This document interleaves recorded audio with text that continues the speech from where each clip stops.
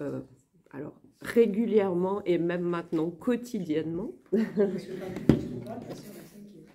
Quoi? Voilà, c'est ça.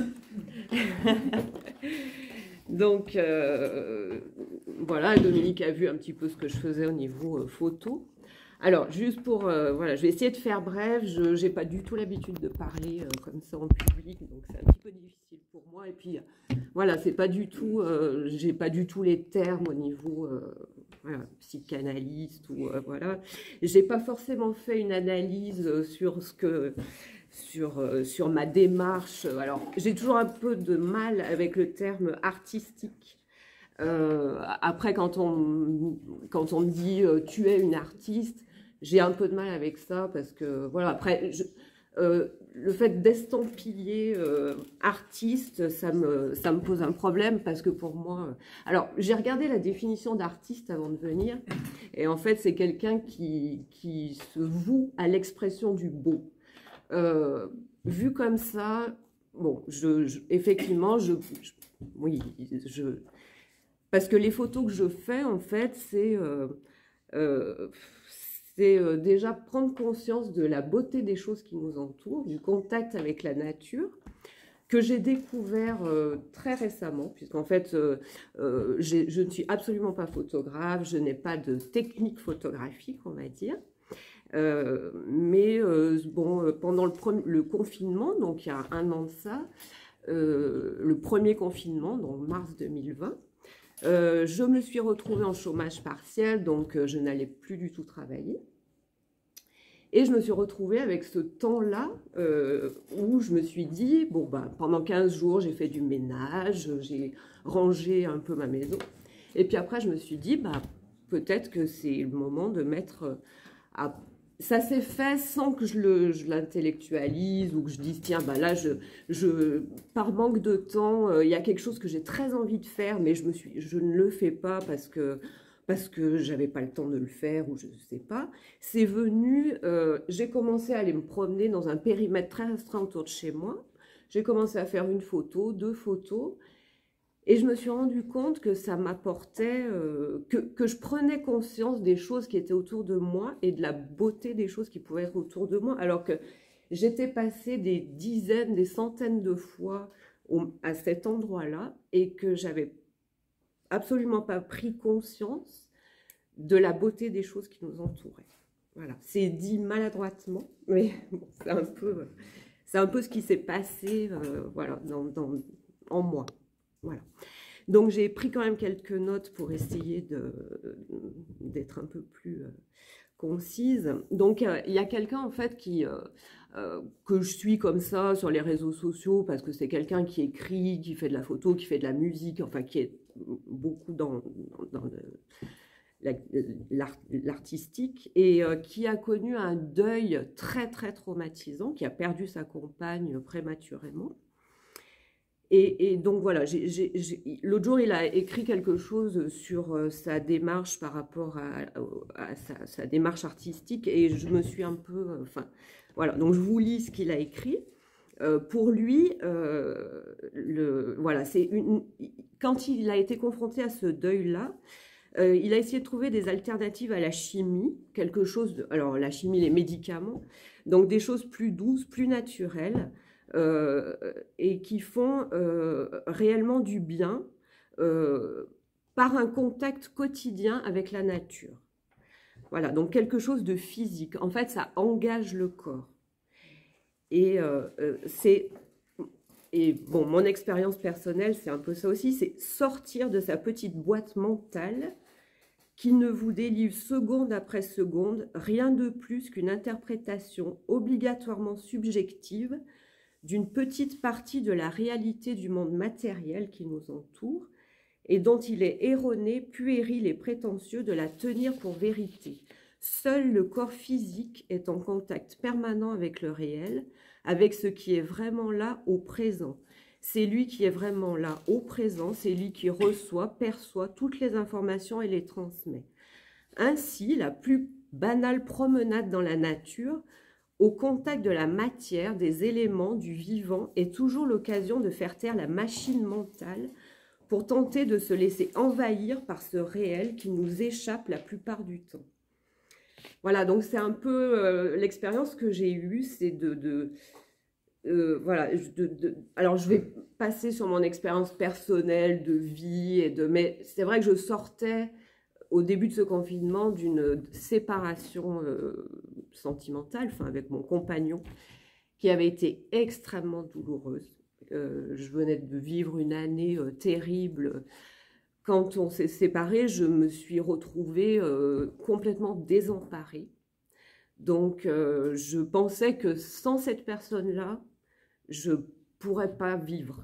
Voilà, c'est un peu euh, peut-être excessif, mais c'était ce que je ressentais à ce moment-là. Et, j'avais l'impression de, En fait, je me suis dit, je vivais à travers lui. En fait, moi, j'ai toujours eu du mal à, à me comment dire, à m'affirmer, à, à exprimer des choses. j'ai, un manque de confiance en moi, voilà. Et, et, le fait de d'avoir trouvé ce, c'est compliqué. Hein. Euh, ce que j'ai ressenti quand j'ai commencé à faire de la photo, c'est des sensations de comme un, je sais pas, ça m'a réconcilié avec moi-même quelque part, parce que j'ai senti que j'étais capable. Alors, bon, après on reviendra sur euh, le côté un peu qui peut être aussi un peu toxique de la chose. Donc c'est pas forcément un truc complètement idyllique en me disant ça y est, j'ai trouvé un truc dans lequel euh, voilà, je vais me révéler, dans lequel je vais être, qui va me rendre heureuse, qui va me par certains côtés, effectivement, ça rend heureuse. Et ce que tu disais tout à l'heure pour les écrivains, je pense que c'est ça. C'est qu'il y a un... Alors, c'est où quelqu'un a parlé d'addiction.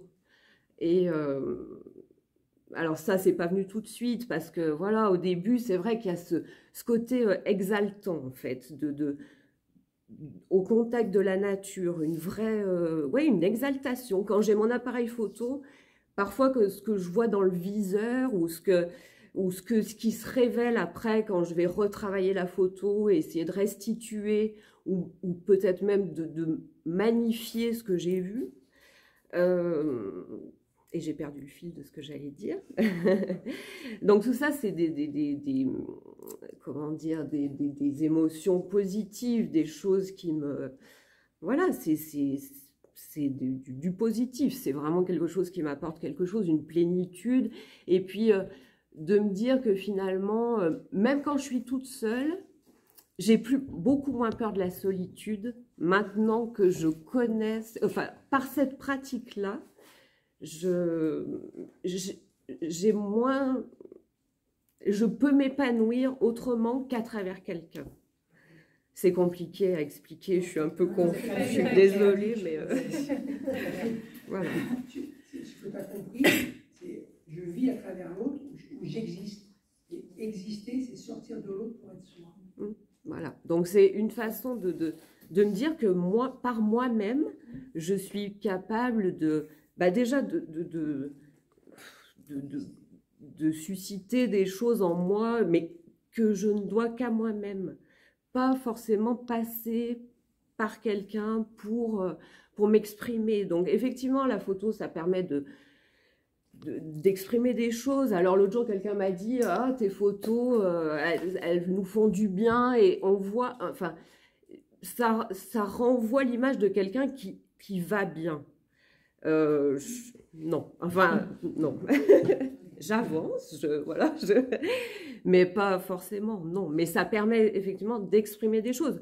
Euh, alors, tout à l'heure, tu parlais, là j'ai pris quelques notes sur les dernières choses qui se, qui se sont dites. Euh, euh, l'acte d'être vu par l'autre, quand tu disais il y a des écrivains qui veulent pas être publiés, qui parce que voilà c'est moi quand je vais poster une photo sur Facebook alors bon voilà ça, ça reste mais euh, j'ai toujours ce, de me dire, je délivre une part, je vous fais voir quelque chose, parce que j'y mets beaucoup de moi dans ces photos, de, de, de cœur, de, de, enfin, je sais pas, ça exprime des choses profondes de moi, et le fait de les faire voir aux autres, c'est parce que je pense que quelque part, je suis quand même aussi en attente du, du jugement des autres. Et c'est voilà, c'est plein de choses différentes qui se, que j'ai pas forcément encore bien. Alors là, pour, pour l'intervention aujourd'hui, j'ai essayé de mettre un peu des, des choses, mais c'est des, sentiments très très contradictoires les uns aux autres. Alors il y a un, double, voilà, c'est pas que du positif, c'est pas que, mais je pense que ça permet effectivement de, mettre une façon d'exprimer des traumatismes, des choses, voilà, par, l'art. Alors, euh, ça peut être la danse, ça peut être l'écriture, ça peut être des choses, mais qui peuvent être aussi euh, souffrantes. C'est. Euh, voilà. Donc, lui, ben, on voit que par voilà, ce contact permanent avec la nature lui a permis de, de, d'avancer en tout cas, de se, de se réparer par rapport à ce deuil qu'il a vécu et il cite Victor Hugo qui dit c'est une, une triste chose de songer que la nature parle et que le genre humain n'écoute pas. Hmm. Voilà, donc en fait, la nature, euh, enfin moi je, suis émerveillée, en fait, j'ai l'impression de, de, de, naître maintenant, enfin de naître, euh, naissance, une naissance par rapport à la nature. C'est-à-dire que dans les choses les plus anodines qui sont autour de nous, on se rend compte qu'il y a du, merveilleux. Enfin, c'est ce que je ressens moi. Après, c'est bon, voilà, c'est subjectif et je dis pas que c'est pareil pour tout le monde, mais et, ce et ce côté de merveilleux qui nous entoure, c'est quelque chose qui me, enfin voilà, qui me, c'est une sorte de révélation en fait. Et euh, et voilà, et alors on dit photographier, c'est mettre un fragment du temps en pause pour l'éternité, et le temps que je passe à observer cet instant figé me permet de ne pas penser à celui qui, s'écoule. Donc euh, c'est pareil, quand on a des problèmes, quand on a des choses qui sont... Euh, eh ben, j'ai l'impression que le temps s'arrête quand je fais des photos, que je suis en contact avec... Euh, voilà, avec la nature, avec et que dans ma tête, c'est une sorte de, vide, de, de, enfin, faire le vide au sens positif du terme, et que ça, ça pose les choses, ça calme les choses, enfin, voilà, c'est d'où le, voilà, pour moi, la photo est aussi une thérapie. Mais après, parfois, je me pose un peu la question de me dire, est-ce que c'est pas non plus euh, essayer de toujours inlassablement obtenir l'image qui provoque la jubilation. Alors ça, je pense que ça recoupe ce qu'on disait tout à l'heure par rapport à ce côté addictif. C'est qu'en fait, on ressent parfois des choses qui sont de l'ordre du... Euh, euh, je sais pas comment dire, du, ce qu'on peut certainement éprouver quand on prend de la drogue ou quelque chose, et qu'on essaye toujours de retrouver. Voilà. c'est peut-être un peu... Mais euh, voilà, donc il faut pas non plus... Et puis quelque part, c'est aussi un... Euh, bon, déjà c'est très chronophage. Et quand tu disais tout à l'heure, des, fois il y a des écrivains qui ont un besoin, euh, de, un, vrai besoin de d'écrire.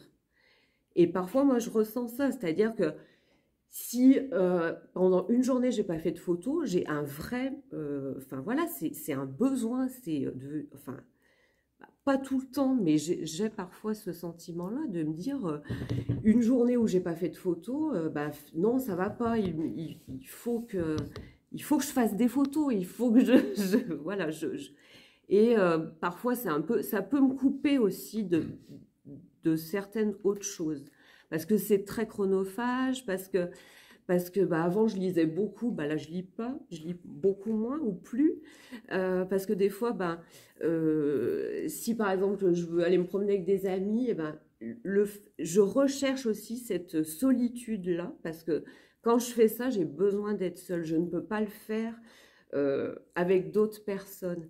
Et ça aussi, ça me fait un peu peur, parce que enfin, je ne veux pas me couper non plus des contacts avec euh, mes, des, amis, à choisir à un moment donné de se dire je préfère être seule pour pouvoir euh, avoir cette pratique. Il faut quand même garder euh, une certaine... voilà, continuer à quand même avoir des... et c'est un peu le piège, c'est aussi de, se renfermer un peu et de... voilà, pour ressentir vraiment ce qui me, ce qui m'exalte là-dedans, j'ai besoin d'être seule. Alors euh, voilà, c'est un peu dangereux aussi, je pense. Donc voilà, c'est un peu tout un. je suis euh, un peu. Euh, comment dire? C'est beaucoup de choses qui se, qui se percutent, qui se. Voilà, donc j'ai encore du, du, chemin à faire pour, pour, voilà, pour arriver à, trouver un juste milieu et que ça ne devienne pas non plus quelque chose de trop, euh, de trop, de trop envahissant et qui pourrait me couper d'autres choses euh, positives. Et voilà, donc, il faut faire aussi attention que ça ne devienne pas une drogue, comme on disait tout à l'heure. Voilà, et puis, euh, et puis voilà, puis tu parlais de l'angoisse de la page blanche pour les écrivains, il y a ça aussi, c'est que parfois je, je me dis, euh, bon, euh, je reviens avec 300 photos, et puis à la sortie, ça va pas, enfin, elles me plaisent pas, ou je trouve que, voilà, elles sont ratées, ou, et ça me, ça me provoque une angoisse, quoi, de ne pas arriver à, à, à, produire quelque chose qui me, qui me satisfait. Donc euh, voilà, c'est pour ça que c'est un peu... Euh, il y a du positif, du très positif, mais il y a aussi des choses qui peuvent être du domaine de l'angoisse et du... Euh, et voilà, c'est pas toujours le... voilà. bah, voilà, je sais pas, c'est un peu...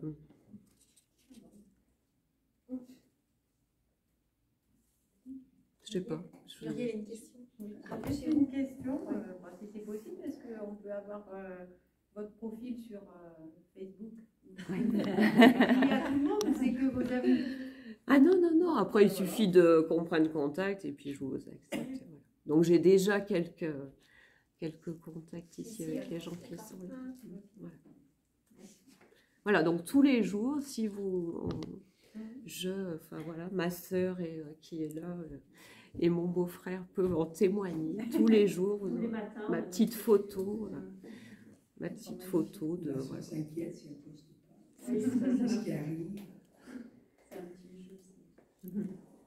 Mais encore une fois, je ne suis absolument pas photographe et euh, et euh, j'ai pas voilà j'ai fait un ou deux stages pour essayer de maîtriser, enfin de, de, connaître un petit peu plus les fonctionnalités de mon appareil photo et puis et puis essayer de restituer au plus, euh, enfin voilà, d'avoir quand même un outil qui me permette d'obtenir de, ce que j'ai envie d'obtenir et de, mais euh, je ça m'intéresse pas plus que ça enfin voilà c'est pas forcément je cherche pas forcément à m'améliorer au niveau alors c'est peut-être de la flemmardise ou je sais pas mais euh, euh je, je je suis pas sûre que ça m'apporte plus d'être, de, de, de, me perfectionner dans la technique, en fait. Voilà. J'ai une question. Est-ce que vous m'entendez? Oui. Alors, c'est juste pour savoir si les photos que vous partagez, c'est des photos qui vous plaisent d'abord à vous ou c'est d'abord pour faire réagir et avoir euh, des retours? Ah. bah, Telle est la question. Donc pour ça, j'aurais besoin sans doute de, de, faire une analyse. Les, les, deux vous motivent autant en fait, que ça soit un cliché qui vous plaît d'abord à vous.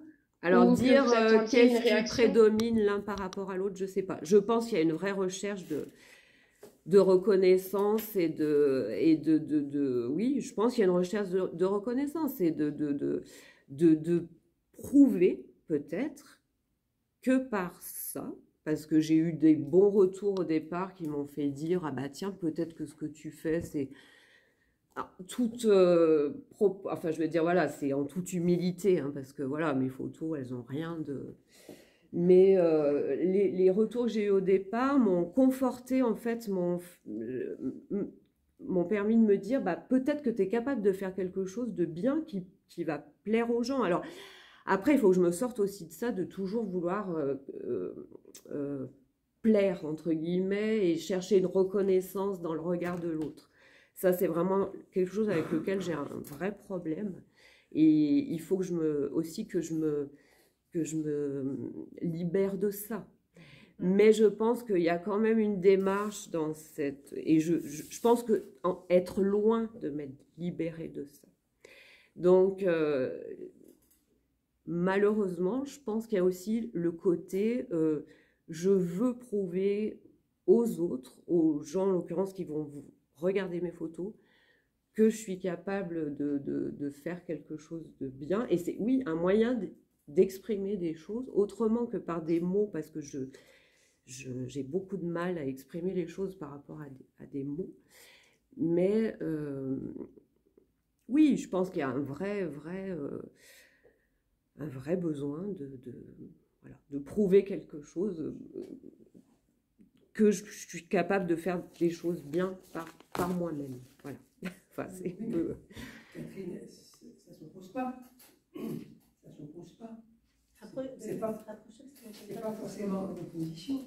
Et puis, merci, parce que du coup, ce matin, j'avais zappé, je voulais parler de Bergson sur le réel. C'est comment l'artiste, en fait, vient prendre un bout du réel dans, sa, dans, ce qu'il est lui et il va le donner. Euh, mmh. Quand tu dis c'est l'art du beau, mais euh, il y, a, y, a ce truc qu'on n'arrive pas à, comprendre qui est le réel. Ben, des moments, il y a du bout du réel qui est un peu plus élargi, ça passe par l'art. Mmh. Donc, euh, et puis, on a tendance à dire que la psychanalyse, elle ne socialise pas, elle l'humanise. Le lien social et lié à l'humanisation, c'est pas la même chose. Mmh. C'est pas, pas avoir beaucoup de contacts, un lien humanisant aussi. Je crois que c'est ce, ce travail-là qui. Parce que moi, je, comme tu disais, il y a une transformation en ce moment, je me transforme. quelque chose qui, qui naît. Mmh. C'est. Euh, toutes les traditions nous disent la même chose, on est bien obligé de mourir à quelque chose pour renaître. C'est vrai que du coup, on ne prend pas la même forme. Mmh. Mais il y a cet accès euh, au réel qui est, euh, voilà, qui est très subjectivé et qui donne une ouverture pour l'autre. Alors l'autre, oui, il va être en mesure de prendre ça et puis d'en faire. Je pense que une production artistique, après, elle appartient à celui qui la regarde. Mmh, c'est ça aussi. Mmh. Et en même temps que ça vienne renarcissiser parce qu'on a tous nos failles, c'est pas l'opposition. C'est pas l'opposition. Et je te l'avais dit, c'est-à-dire que puisque tu ne veux pas exposer, viens t'exposer en fait. Mais c'est proche. Et puis, euh, euh, je pense qu'il faut avoir cette part narcissique pour oser exposer. Mais c'est pas parce qu'on vient oser, c'est pas forcément de l'égocentrisme. C'est je viens de savoir qui je suis pour pouvoir transmettre à l'autre. Et je pense que c'est surtout cet accès. Euh, moi, ça m'a beaucoup parlé, c'est le psychanalyste, mais ce réel-là où on n'a pas accès, mais parfois, eh ben, il vient un petit peu. Euh, c'est euh, François Julien, je crois, c'est un philosophe qui n'est pas inintéressant, l'inouï. Il parle de ça, il dit. Euh, comme on ne voit pas que le ciel bleu est bleu, quoi. Mmh. On a tellement l'habitude de le voir, mmh. il y a un jour peut-être qu'on le mmh. voit bleu, il y a quelque chose du réel qui augmente. Et il est très solitaire. Euh, pas parce que euh, euh, être seul, Nicole dit la capacité d'être seul, c'est pas être enfermé. Hein, comment je m'approprie, c'est pour ça que j'ai dit exister, c'est sortir d'eux pour être soi. Merci. Moi, il y avait. il y a autre chose, enfin, pour moi, qui me paraît très important, c'est que on a échangé. Moi, je ne suis pas du tout, enfin, c'est pas, la photo, mais je suis, je suis pas du tout photo, pas, intéressé à. Mais, mais par contre, énormément par, euh, par la nature. Et quand j'ai commencé à regarder, c'était parce que c'était des photos de nature. Et il y, y, y, en a une qui m'en avait échangé euh, dessus, mais après en, en aparté. Il y a, a d'autres choses qui se passent. Il me semblait que moi, les gens me connaissent de ça, donc j'habite dans le village, pas, la moitié de mon temps dans les bois, mais au plus, je peux y aller. Euh, la nuit, le jour, mauvais temps ou pas mauvais temps. Euh, et, et, et, très souvent, il y a cette recherche de connexion avec la nature. Et je dis que moi, je ne sais pas faire méditer, mais c'est une méditation active d'être dans la mhm. nature en mhm. courant. Mhm. Et, au-delà, même de, de rencontrer l'autre. Et l'autre, pour moi, c'est l'animal, notamment le chevreuil. Et je me suis aperçu qu'à chaque fois que je le mentalise, je me dis, ah, aujourd'hui, ça serait bien, j'en vois jamais. Quand je ne pense pas, ils viennent. Mais il y en a une que tu avais fait, là, je me suis dit, waouh, alors, je ne sais pas si c'était un, pas un chevreuil, je crois que c'était plutôt un cerf. Un cerf, oui. Hmm. Et euh, quand on avait échangé, c'était super proche. Quoi. Hmm. Et alors, non seulement je m'étais dit, mais euh, bah, tu avais pris beaucoup de temps pour prendre la photo, donc très très bonne leçon pour moi. Mm. Arme-toi de patience. Toi, tu dis tout de suite, j'ai rencontré le chevreuil, Oui. machin, compagnie. Mm. Cathy l'a rencontré parce qu'elle s'arme de patience. Et, et la deuxième chose, c'était, tu as souvent nommé nature et toutes ces choses-là. Qu'est-ce que te renvoie euh, la, la nature? Et, et je te l'avais dit d'une autre façon, mais euh, s'il est- s'il s'est laissé approcher, parce que, voilà, vraiment, je répète, tu passes beaucoup de temps, et c'est dur, enfin, c'est Mm. super compliqué d'être proche de... Mm. Ils nous semblent tellement loin avec nos, nos, nos faux pas d'humains, euh, machin, que cet animal-là, à un moment donné, il- elle y est la connexion. Il- il- il- pour moi, je l'ai vu comme... une- Alors, je sais pas, j'ai un, esprit quand même très rationnel. Donc, Oui, mais euh, bon, moi, je l'ai euh, je- comme ça. ouais. Alors, c'est vrai que ça, c'est. Dans ouais. quelle intention tu Mm. viens, et presque, il, te donne ce cadeau-là. Et le dernier petit truc, c'est que, en même temps, quand tu produis tes photos, ben, la, la joie que tu fais aux autres, parce que moi, de voir ce, ce cerf de près, c'était euh, super. Quoi. Alors c'est vrai que quand on me dit ah bah ta photo elle m'a fait du bien aujourd'hui, euh, j'ai vu ta photo ce matin et ça m'a, eh ben c'est génial quoi. Enfin si je peux, euh, voilà, c'est des, des choses, euh, voilà, c'est. après le, Cette dimension presque oui, bon. mystique, mais de, de cette rencontre, de cette connexion avec, euh, bah, du coup, là, pas l'humain, mais de, de, de- du reste après, je pense que c'est vrai que par moment, il y a une espèce de... euh, la connexion est tellement euh, forte par moment que oui, ça peut avoir, un- une, ça peut avoir une dimension mystique, je pense, un peu. Bon, c'est... euh, alors l'histoire du chevreuil là, c'est un peu, euh, c'est un peu, oui, c'est vrai que je, je, je passe en voiture sur une route pour expliquer un peu les circonstances. J'ai vu effectivement un animal dans un champ assez loin, je dirais à peut-être euh, 300, 400 mètres, je sais pas. Donc j'ai fait machine enfin j'ai fait demi-tour sur la route. Et c'est vrai qu'il y a eu, ça a été un moment effectivement assez euh, hors du temps, on va dire. Mais ce que je peux ressentir aussi avec des fleurs ou des arbres ou pas forcément des choses, enfin vivantes, bien Vivant. sûr que c'est des, c'est vivant, c'est du vivant, mais un animal d'autant plus. C'est vrai que là, bon, forcément. Et, euh, et voilà, et, et je, bon, j'ai, c'était un, quand même- il était assez gros, oui, c'était un cerf. Alors sur le coup, j'étais pas sûre parce qu'il était assez loin, donc j'ai, j'ai zoomé en fait avec mon appareil pour voir parce que je me suis dit peut-être c'est une souche d'arbre ou quelque chose qui a la forme d'un animal et peut-être que ça n'en est pas un. Donc oui, effectivement, il s'est confirmé que c'était un animal qui ne bougeait pas, qui me regardait. Et j'ai eu, effectivement, alors je, je me suis, alors j'avais peur en fait, parce que un animal surtout gros comme ça, euh, bah, on ne sait pas la réaction qu'il peut avoir. Euh, bon, je pense pas que les cerfs soient spécialement agressifs, mais bon, voilà. Enfin, en tout cas, je me suis approchée de lui très lentement. Ça a duré peut-être, euh, alors je sais pas. Après, on perd un peu la notion du temps parce que justement, le, temps s'arrête en fait. Euh, et, et- et j'ai regardé cet animal, euh, vraiment, on s'est fixé l'un l'autre. Euh, lui, il me regardait, il me quittait pas des yeux, moi non plus. Et donc, je me suis approchée, ça a pris un certain temps. Alors, plus je m'approchais et plus j'avais un peu d'appréhension, parce que voilà, c'était un, gros animal. Et, euh, et donc, je me suis, il y avait une haie là sur le côté du champ, donc à un moment, j'étais vraiment proche de lui. Je me suis un peu mis sur le côté, je me suis un peu protégée par cette haie parce que, oui, j'avais un peu, un peu peur. Et lui me regardait sans aucune, euh, complètement immobile, sans aucune euh, manifestation de, peur. Ou de, et c'est vrai que c'est un moment extraordinaire parce que lui me regardait, moi je le regardais. Puis petit à petit, j'ai commencé à, à, à- à lever l'appareil parce que voilà, il fallait. et, euh, et voilà, et je l'ai pris en photo et il s'est. Voilà, ça a duré. euh, J'ai pris, euh, je sais pas, peut-être euh, voilà, 50 photos.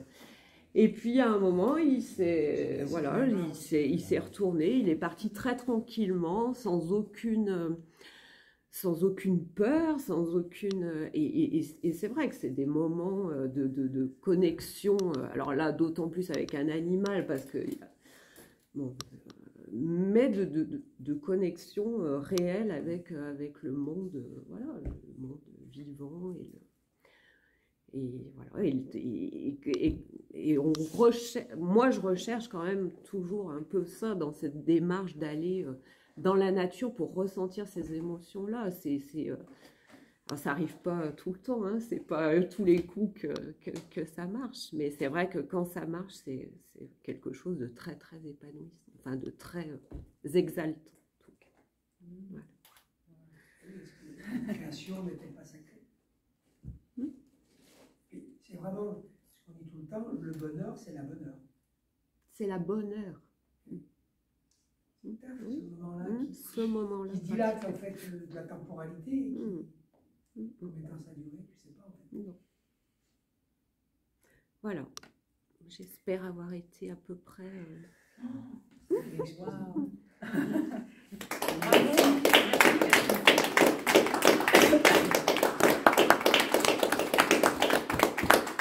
étape, c'est le vernissage. J'en suis pas encore là.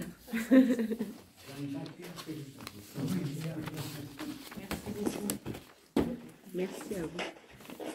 Est-ce que vous avez euh, prévu de nous faire une photo en direct J'en ai, j'en avais amené là pour faire voir un peu euh, ce que je.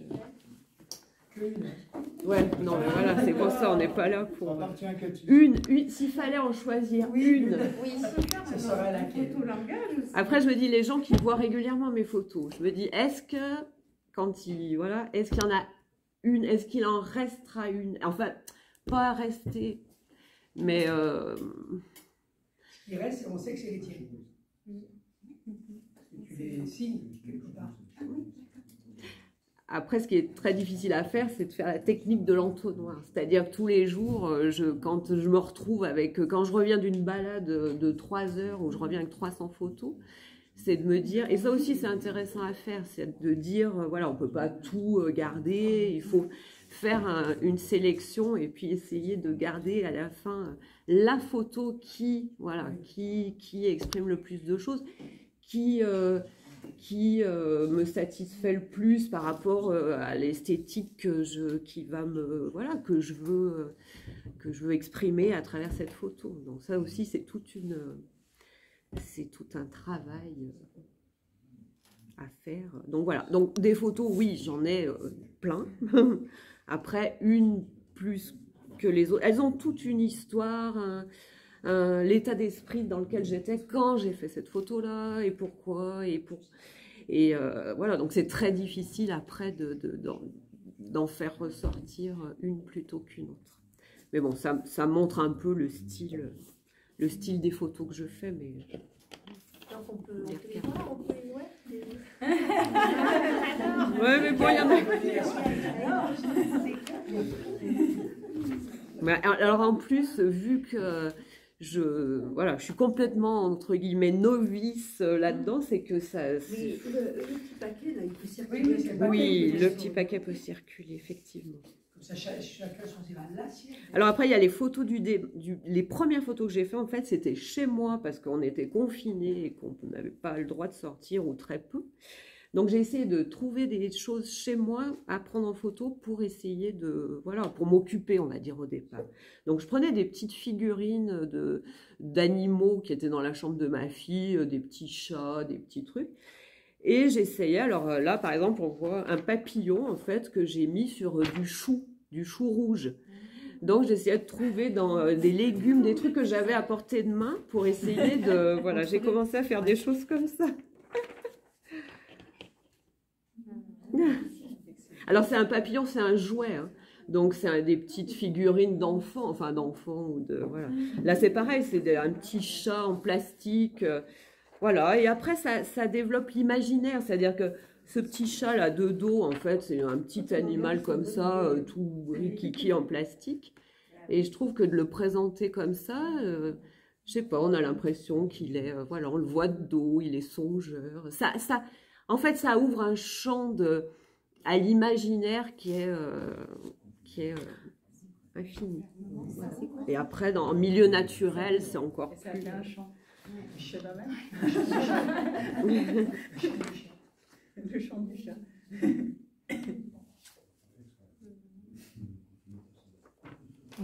Oui, bon, voilà, ça c'était vraiment les premières photos. Ça c'est le, ça c'est marrant parce que en fait, celle-ci, alors je sais pas si on voit bien, Ça, c'est pareil, une petite figurine, un petit oiseau en plastique. Et en fait, je me promenais autour de chez moi, pardon. Ah, et euh, il y a des plots en pierre euh, vers les parkings, euh, qui délimitent le parking, en fait.